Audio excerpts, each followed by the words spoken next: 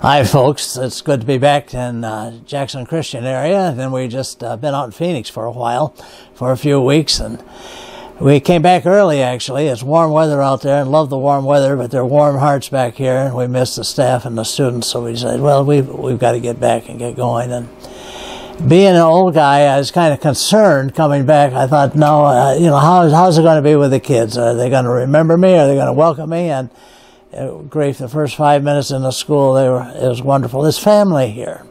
That's one of the great things, and uh, I, I, just enjoy it thoroughly. We, I have a few experiences I'd like to share with you. First of all, we went to a church. We went to three different churches in Phoenix just to visit, see what different churches are doing one of the pastors who's very conservative, but uh, he's also very outgoing. He reaches the community wonderfully. They, they, they, they have a ministry to street people. They have a ministry to prisoners. They have, uh, and they come into their church, and their church welcomes them. Can you imagine that? And then they have a ministry to the kids that the parents put the kids on the street to earn money with their bodies, and uh, that's that's a heartbreaking ministry, but it happens. But anyhow, this pastor made a statement. He says, You know, I've been saying that we live in a post Christian culture for some time. But he said, That's wrong. We live in a pagan world right now. We live in a pagan culture. And I've been rolling that over in my mind, thinking about that. And that's very, very true. And we're trying to equip kids here. We have been for a number of years, equip our kids to uh, impact the world for Jesus Christ. And the culture is making it more and more difficult to do that. But on the other hand, light shines brightest in the darkness. So uh, we want our kids to be salt and light when they go out. So we're trying to equip them here. And it's a really protected environment. And I saw that. Two of my daughters out in, in, in Phoenix uh, teaching schools. And the stories they tell me are horrifying. And uh, they, they're both uh, discouraged. They don't know what to do about it, but they give it their best shot. And I encourage them, to, I, that's where God's called them. So I encourage them to, to try to do their best with what, what they can do. But the laws that the government are passing today and things that they're enacting, making and make uh, living pretty difficult, changing our culture rapidly.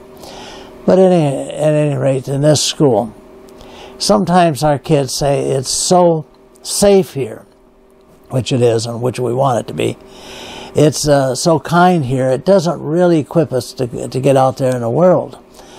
And uh, one of our parents approached me recently, just in the last few days since we've been back, and said, You know, my daughter, when she graduated, thought this school was kind of too safe and, and too comfortable, and it didn't teach her how to meet the world out there. And recently, her daughter's come to her and said, Mom, I thank you and Dad for spending the money, taking the time, making the sacrifices to send me to that school. She she is now working in a school herself, and she has discovered that uh, what we do here is like a, like a greenhouse. And we take these little fragile plants and we grow them and they take root and get firm. And then we plant them out in the world when they're ready, after they graduate. And what we're finding is that initial shock of the world, the culture out there, rattles them a little bit. But they take root and they blossom and they shine and they bear fruit. That's what Jesus has created us for. So what you're doing is a good thing. What this school is doing is a good thing. There's just warmth and there's love and there's hope and there's all of these good godly qualities instilled into our children. And the joy that I have is uh, I'm not on a, on a front line basis with the kids anymore, but just greeting them in the halls and seeing them around in the community and the joy I have with these kids is just uh, watching them grow and watching them prosper. Another joy I have is when we got back, is some of our kids email us. None of them text me because they know that I don't know anything about that. Uh, I think my wife is going to put on my tombstone, he never learned how to text, but uh, that's a joke we have around our house. But uh, another thing, we've had kids come over and visit us and call us alumni. And it's such a family, such a tightness here. And I'm not the only one. Teachers up and down the hall can tell you the same things. So we're trying to instill in your children that you've entrusted to us. We, we realize that the kids need a good, strong home, they need a good, strong church, and they need a good, strong Christian school. And we're trying to instill in these kids the love for Jesus and the love for each other and go out there and be salt and light. Take root and let Jesus work in you and through you and make you very prosperous in your lifetime. Thanks for the privilege. Thanks for letting us have your children for a few hours each day.